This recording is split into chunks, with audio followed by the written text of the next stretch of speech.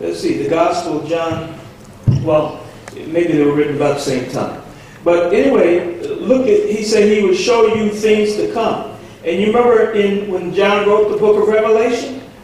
That's one of the things he said. Uh, he was showing things that were, things that are, and things that are to come. Right. So he was guided by the Spirit of truth. Okay. And then on, on John 14, 26, he says, But the Comforter, which is the Holy Spirit, whom the Father will send in my name. And did that happen? Yes. When did that happen? Day of Pentecost. The Holy Spirit came and filled those all those in the upper room. And so he said that whom my Father will send in my name, he shall teach you all things and bring all things to your remembrance whatsoever I have said unto you. You remember how it was that he told them things and they didn't even they they didn't even think about it or remember it until after he was resurrected? And then it says, and then they remembered that he had taught them. Okay? So um, so the Holy Spirit helps us to bring things back to remembrance. Does he do that with you and me? Amen. If we study, if we study the word, he can have something to say. You know, that's way back when you studied that. And, and you can go back and refer to it through the scriptures. So, yes, he, he helps us too. Okay, let's take a look at another one here. Under under number, let's see, where am I at? Two. Number two. 2 Okay, number two, yes. I have, uh, I have, okay, I see how I got confused. Okay, somebody read number two. The apostles were aware that God was giving them his precious word.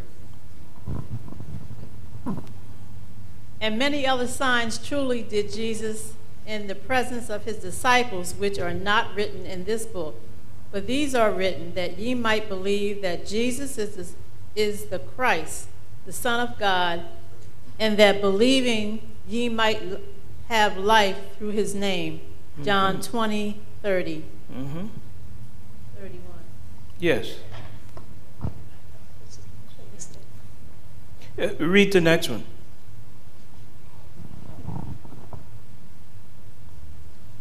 Which Oh, things sorry. also we speak not in the words which man's wisdom teaches, but which the Holy Ghost teaches. 1 Corinthians 2.13. Okay. Oh, I have it wrong. It's First Corinthians. I'm sorry. I, uh, she read it right. That was, yes, I, I see that now.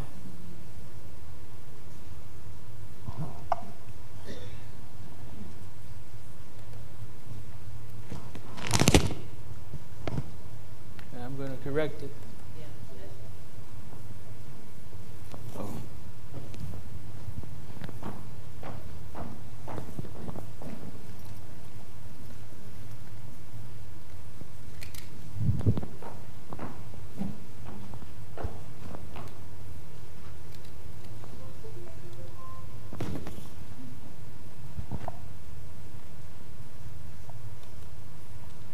Okay, so it'll show First Corinthians. Okay, so let's go back.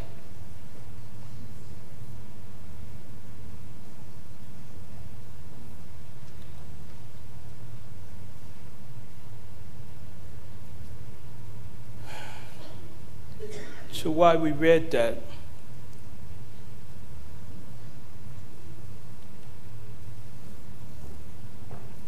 Let's see, go back to this one. Okay. It says uh, the apostles were aware that God was giving them his precious word.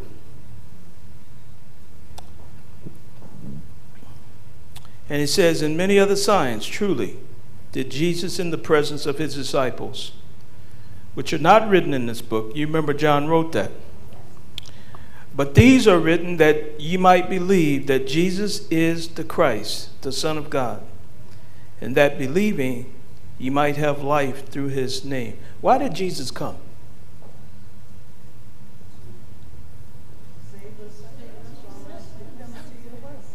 Yes, he did. Matter of fact, can you prove it? Can you, can you give me a scripture of why he came?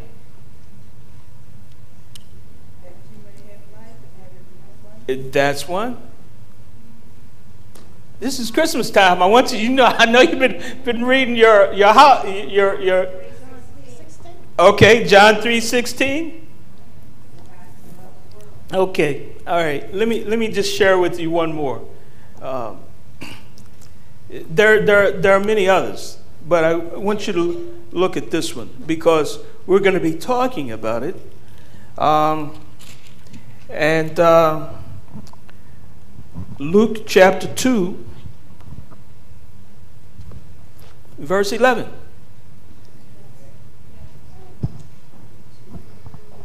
Luke chapter 2, verse 11.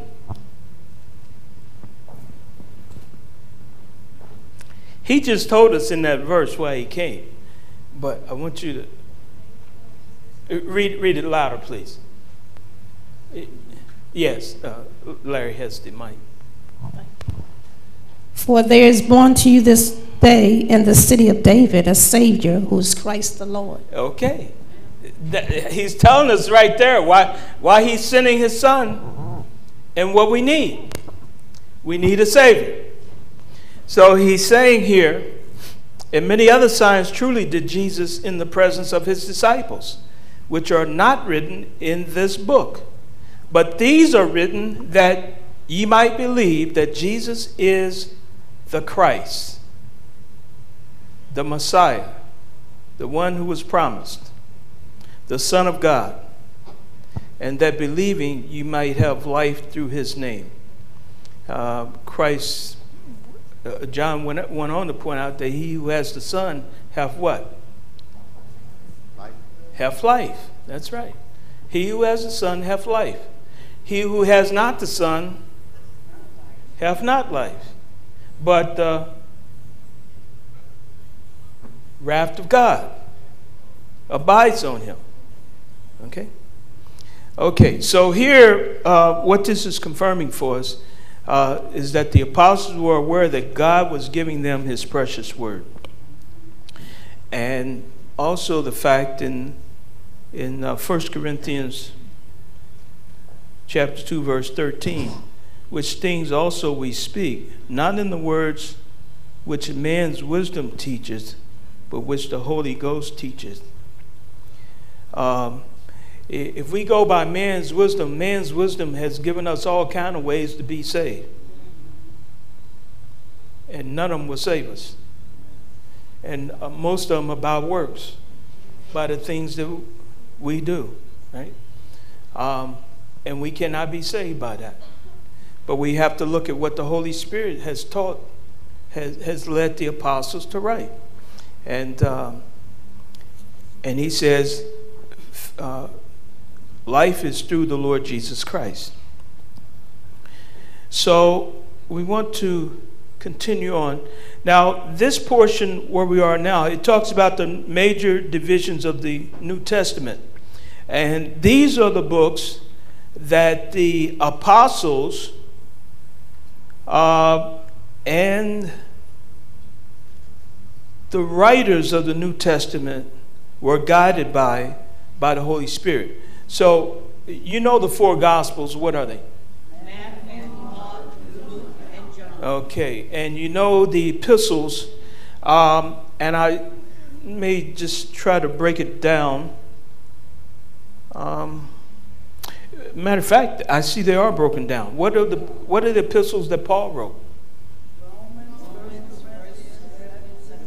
Mm-hmm.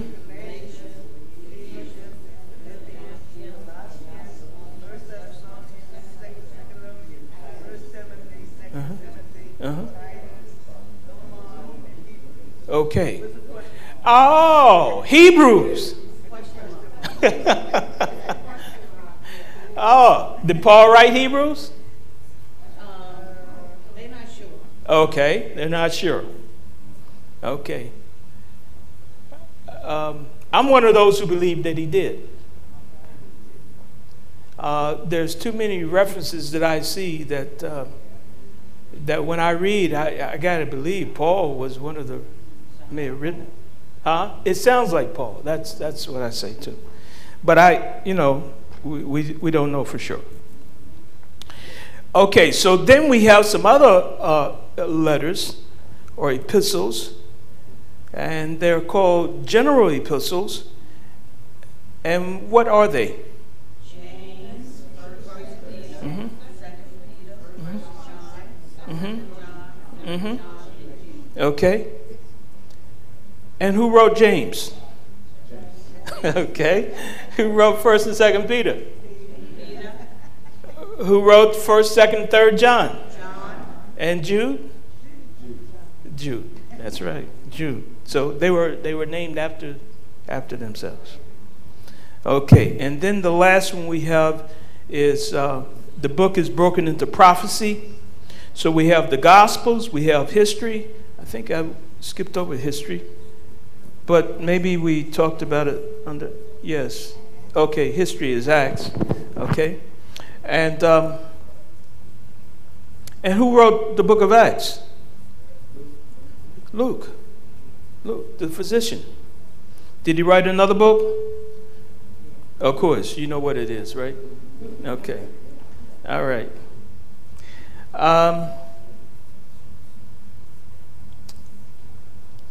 yeah, and we're grateful for every one of those writers. Uh, okay. And what is Revelation? What category is it put in? Prophecy, right? Prophecy. Uh, end times, and um, so they're they're equivalent to we have prophecy in the Old Testament, prophecy in the New Testament, and um, we also have history in the Old Testament. So here, would someone read the um, what what the writer wrote about the these um, modern divisions? The writer of the New Testament book has to be an individual with apostle, ap, ap, mm, apostolic, apostolic authority. Mm-hmm. We believe, therefore, that when the apostle John finished writing the book of Revelation, the New Testament canon was completed. Okay. What do you think he means by apostolic authority?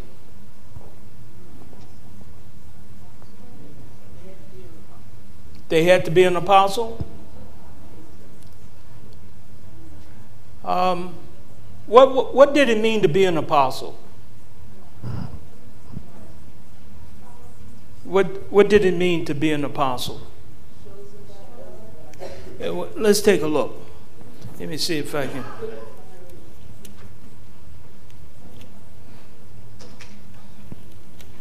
Chosen by God. Okay. Chosen by God is good. What else? Was there any other criteria? I know had- you know, had- Larry. Go ahead. Yeah, they had to have um, seen Christ and had walked with Christ. Right. They seen Christ and walked with Christ. There's a, a scripture that refers to that, and I believe it was in Second Corinthians, um, where Paul had to give a defense of, of his apostleship.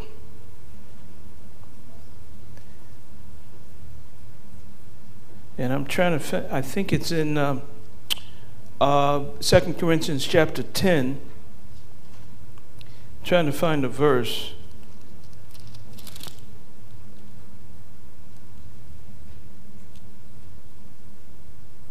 But the uh, I don't see it. I, maybe if, yes. What about 1 Corinthians 9?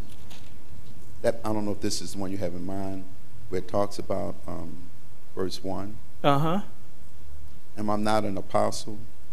Am I not free? Is that First Corinthians? First Corinthians? 9. Okay, First Corinthians. First, Okay, Yeah, chapter nine. that's probably the one I'm thinking about.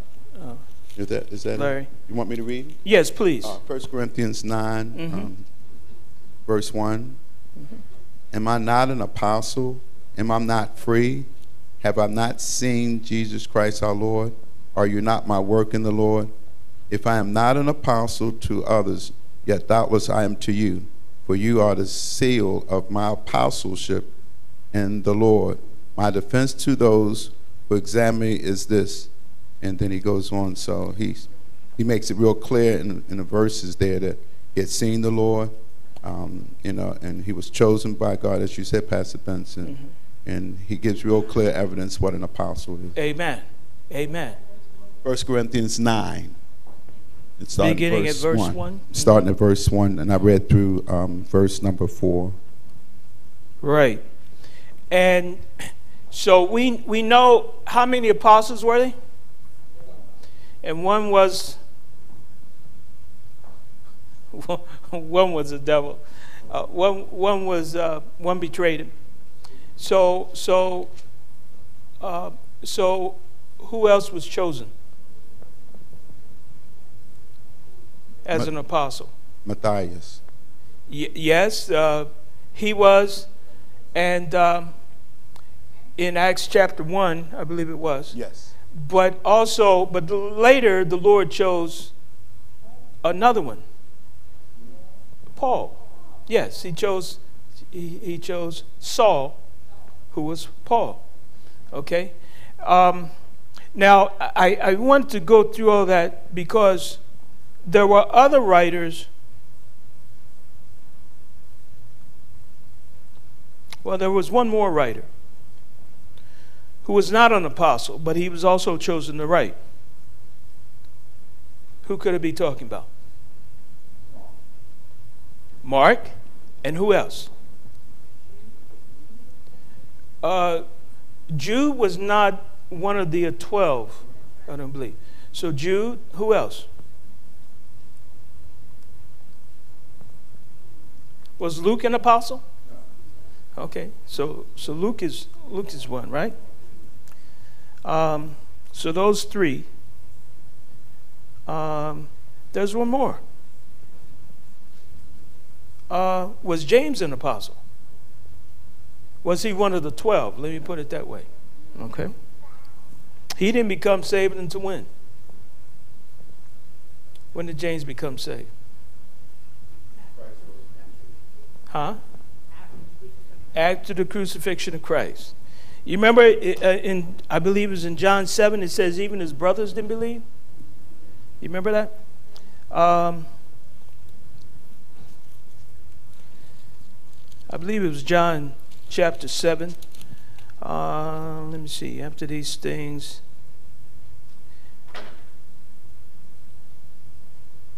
Okay, John chapter 7. And in verse, uh, begin in verse 1, 1 to 5. Someone want, want to read that?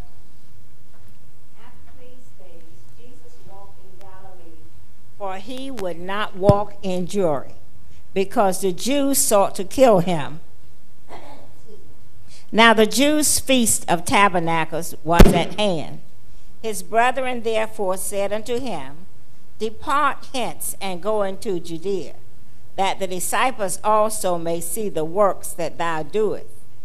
And there is no man that doeth anything in secret, and he himself seeketh to be known openly. If thou do these things, show thyself to the world. Mm-hmm. For neither did the, his brethren believe in him. That's good. Mm-hmm. You see that? Yes. Now, this is just before he goes back to Jerusalem and is crucified. Mm-hmm. And so it was after the um, resurrection that James became one of the pillars uh, of the church. And uh, you, you then began to see in the book of Acts how he was one of the early church leaders. Okay? So, Pastor Benson, Mhm. you understand that, that James was the half brother of the Lord Jesus? Yes. Okay. Yes, exactly. Exactly. Um, why would you say half brother?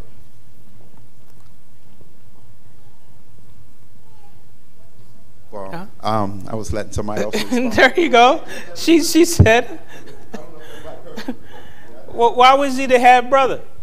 He wasn't the son of God. Right. Only Jesus was. Okay. So Christ had two natures, right? Um, he was They had the same mother, but they couldn't have the same father. exactly. They had the same mother, but uh, uh, so I just saw an ambulance. Oh, there it goes. Ambulance going back.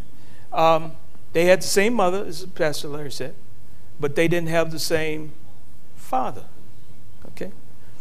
Okay, so that's why he was called half brother. All right. So, getting back, it says that the writer of the New Testament book had to be an individual with apostolic authority. We believe, therefore, that when the Apostle John finished writing the book of the Revelation, the New Testament canon was complete. Amen. And um, go ahead. So why don't we have apostles today? Because I hear people saying, I hear, I'm sorry. I thought everybody could hear my voice. I'm sorry. Um, there are people who claim to be apostles today. Sure. So are they wrong? Um, I mean, do we have apostles today? Somebody answer I- that I for him. I just thought I'd put that out there. I just thought I'd put it out there. I know Larry knows the answer, but he's he's okay, okay. But how how do you prove that? Where do you show that? Uh, In the scriptures? Okay, tell me where. Tell me where.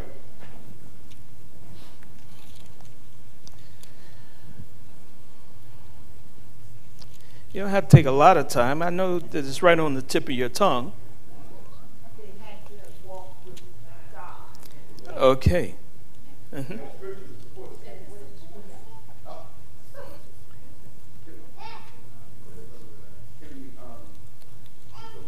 Can we um, look at Acts 1?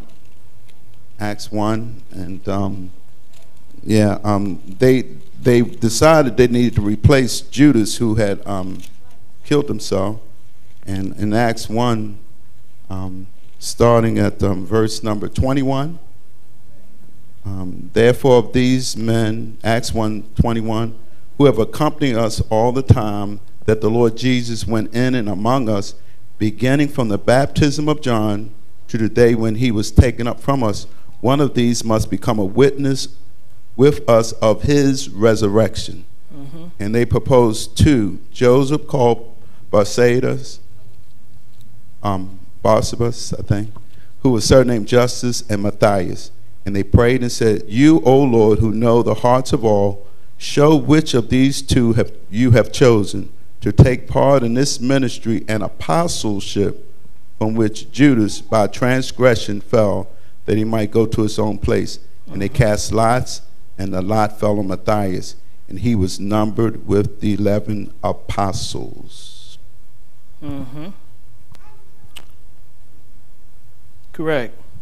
There was I was looking for something else also, and I um, maybe it's maybe I just have to do some more looking, but um, I believe it's in First Corinthians twelve uh, where it, it talks about there there are gifts, and um, there were certain gifts that were temporary, and certain gifts that were um, were permanent. But I I'm, I, I need to uh, I need to uh, do more looking on that. But we don't to, to, to Larry's point. We don't have apostles today. Uh, one of the criteria we said was that they had to have seen the Lord. Right? How many have seen the Lord today? Uh-huh. Unless they've seen him in a dream or something, their own mind.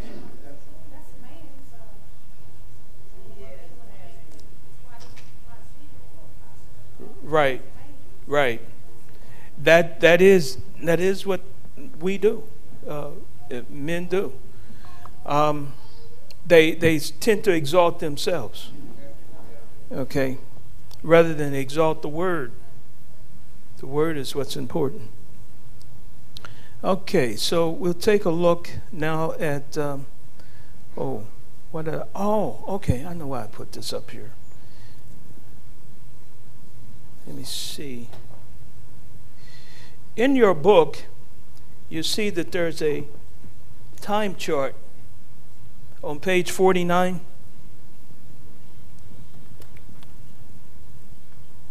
And I did these charts some time ago, and I did set it up. Oh, my.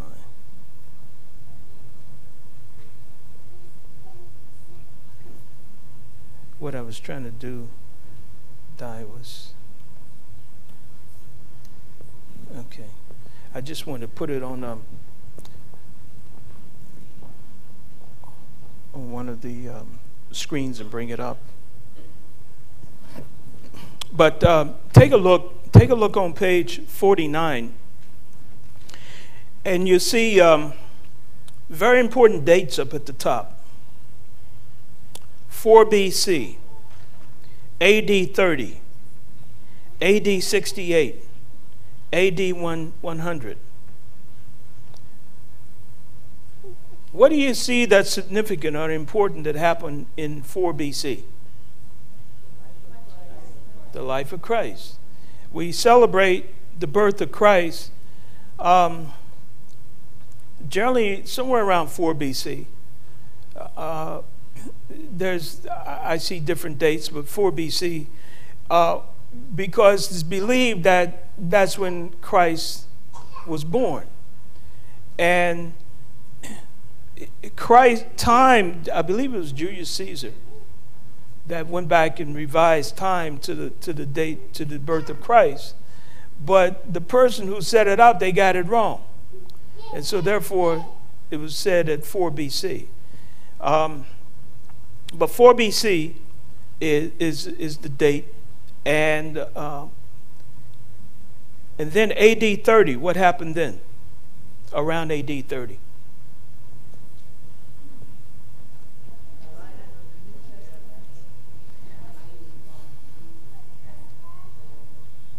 Come on, y'all know this one.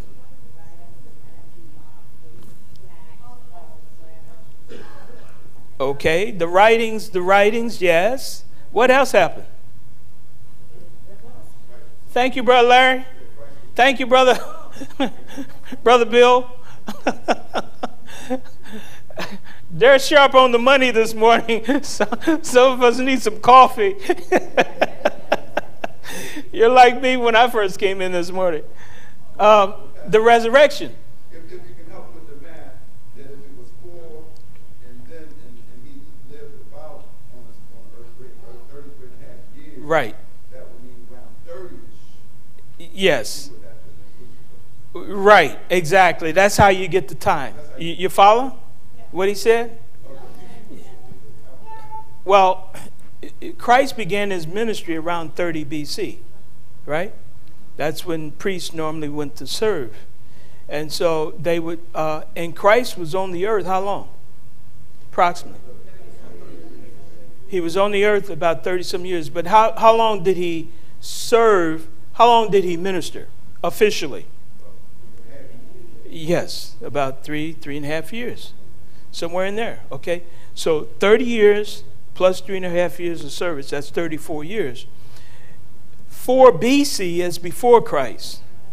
Okay, so AD was 30 years. So you add the two, right?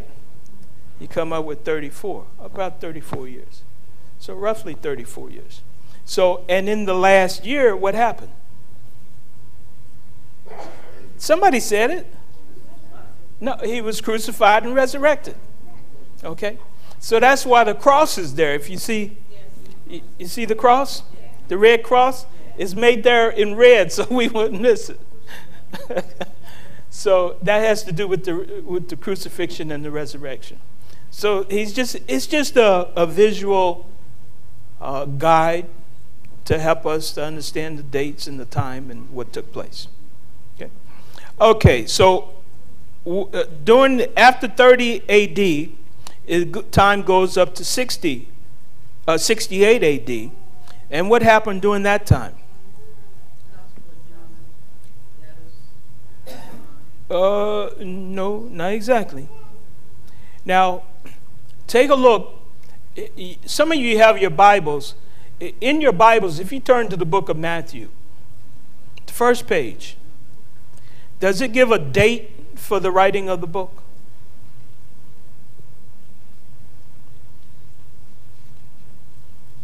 Or if you turn to any other book of the scriptures, does it give a date? Right, right. So it's giving a time frame, okay, 50 to 75 AD.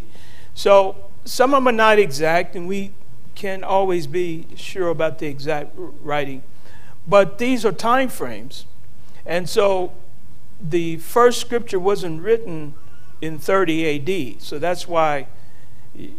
You know, it wasn't written exactly after Christ. It was written some years after Christ.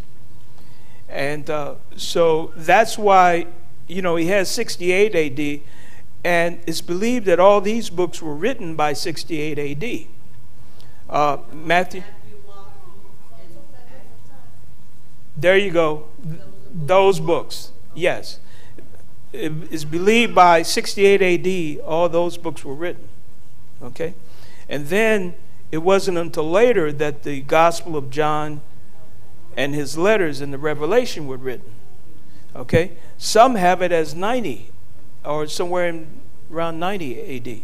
If you look at your Bible, uh, Bibles, you may see dates on there. Um, for instance,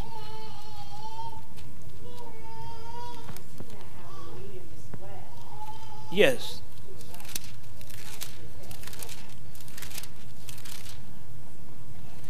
Matter of fact, now I'm, I have a Scofield, uh, King James, and it happened. And the writer of this, uh, they, they said that the date of the writing was around 95 A.D. Okay, so it's just to give you a rough idea. Okay, they're not they're not exact. It's just giving you a rough idea. So it's just to try to help you understand the chart. Okay. Uh, it's similar to this one. Okay, this is the closest I could come. Um, 30 AD was the death of uh, death and resurrection of Christ. Um, it's believed that within about 15 years, is that right? 30, 45? Yeah, about uh, 15 years after the death and resurrection of Christ, that the book of James or Galatians were written. And around, and you see the dates. Uh, this is somebody's somebody's uh, estimation of when when these books were written. So that gives you an idea. Of, and, and the author's just trying to give you a chart. It's just to try to help us out. okay, so we go back to to uh, to number C under page 45. Excuse me, page 49. The canoncy of the Apocrypha is rejected. okay, will someone read about the canoncy of the Apocrypha being rejected? The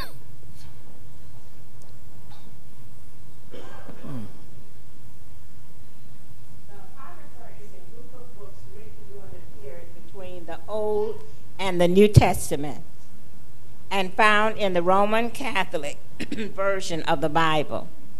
They are denied canonicity for the following reasons. Okay.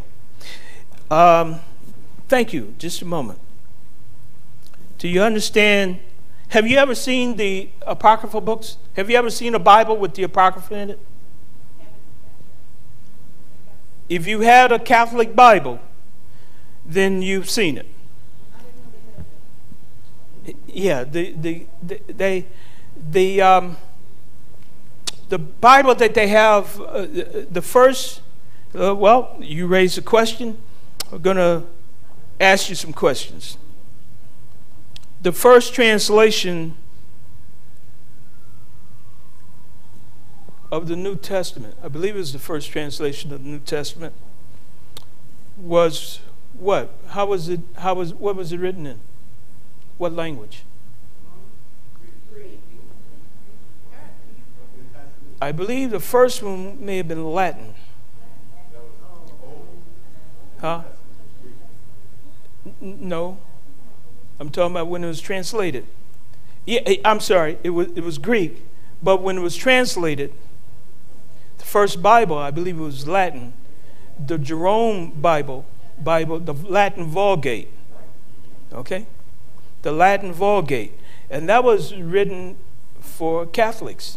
And they use it, I believe they use it even today, which is why a lot of their services is done in Latin. Okay? So, um, and when, and and interestingly, Jerome didn't put those, those apocryphal books in his Bible. He didn't. Um, but these are these are books that is it doesn't that uh, we don't believe or um, canonical, A- and and he's gonna he's gonna go into detail as to why um, why they were rejected. Yes. This group of books, is this God breathed? No. No. No. Are these books God breathed? And you said no. The question are they God breathed? Uh-huh. Meaning that the Holy Spirit has sanctioned them. Yes. Or, or, and they are, no. No, he hasn't, the Holy Spirit didn't authorize these. Okay, Okay. so what are these books written for? For Because some people have added them into, into the Bible, particularly the, the Latin Bible or the Roman Bible. Brother Bill has a comment he wants to make, and I'll come back. Hold on just a moment, Brother Bill. when Jerome was translating into the Greek, he knew that the Apocrypha was not scripture, Mm-hmm. but the Pope insisted that he include it. Mm-hmm.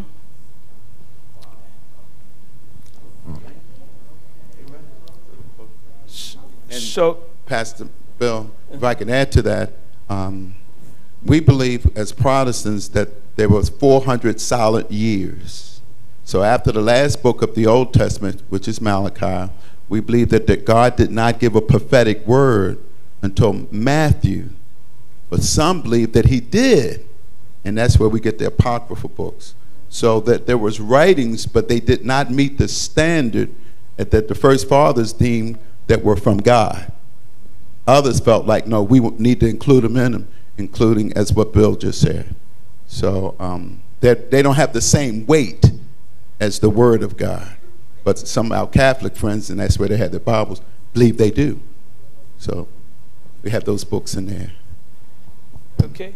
Now, we're going to take a look at, um, we only have, matter of fact, we don't have time. So here's what we're going to do. Uh, take a look at your, look up, uh, next week, look up the Apocrypha. You see it spelled here, Apocrypha, and do some research. Okay? Come back and let us know, and, and uh, maybe Sister Margaret, you can answer her question. Or, or maybe you have a question of your own you can answer. Um, because I thought I had a different date for the, uh, for the inclusion of these books in the Bible, but I see here it looks like they were included as early as 404 uh, AD. And, um, but anyway, I'm going to do some research too. Okay? So let's, let's do that for next week. We'll be ready to talk about the apocryphal books and also uh, take a look at the Dead Sea Scrolls. Look up the Dead Sea Scrolls. Okay? And we'll do research on that and be ready to talk about those two things um, and what impact they have on the, on the scriptures. Okay? Thank you so much. And um, Father God, we do thank you and praise you for your precious word. Dear Lord, we thank you for the Holy Spirit uh, that uh, helped men to distinguish what books were to be included and excluded from your precious word.